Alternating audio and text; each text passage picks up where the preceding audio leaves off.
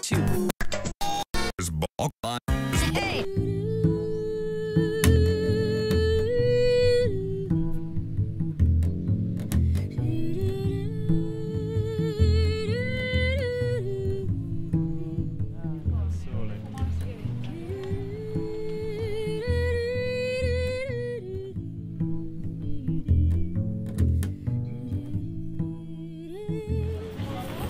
Fatica quando passerà, quando passerà,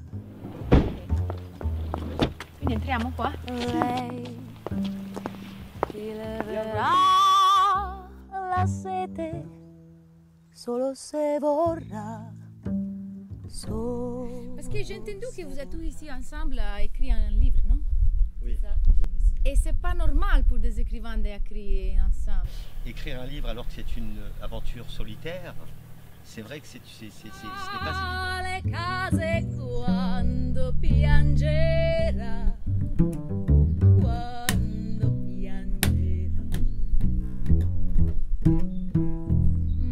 Je pense que c'est la musique qui est très importante d'écouter. mais C'est la même chose pour vous? Non, Oui. non, parce que dans Ah, la si. musique, un la mineur est un la mineur. Moi je suis pas d'accord. Moi je trouve que c'est important d'écouter les, d'écouter les autres. Mais ici, pas, Ouais. pas normalement quand Normalement non. ici. Normalement on est seul. Et donc c'est un peu comme être un musicien.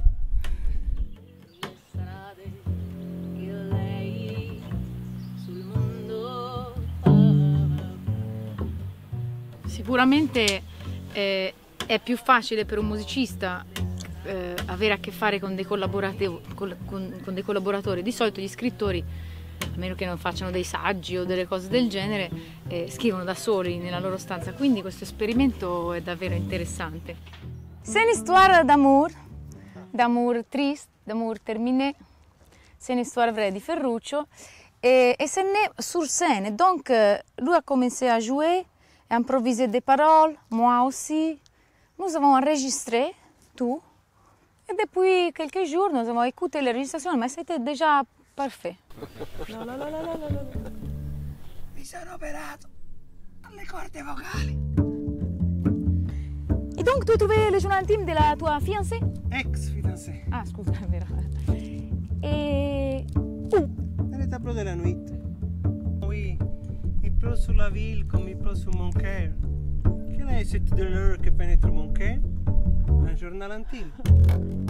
Toutes les femmes ont un journal intime. Qu'elle le cache? H, H, H, H, H. Dans le tableau de la nuit. Musica Nuda, un groupe italien que je ne connaissais pas. C'était un pur moment de bonheur. J'ai passé un excellent moment. Et j'ai trouvé euh, très troublant euh, ce mélange, cette osmose entre la voix et euh, la contrebasse. C'était super et puis la chanteuse a une voix qui porte.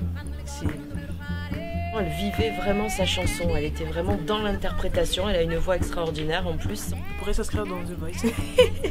C'était un bon moment de euh, poésie.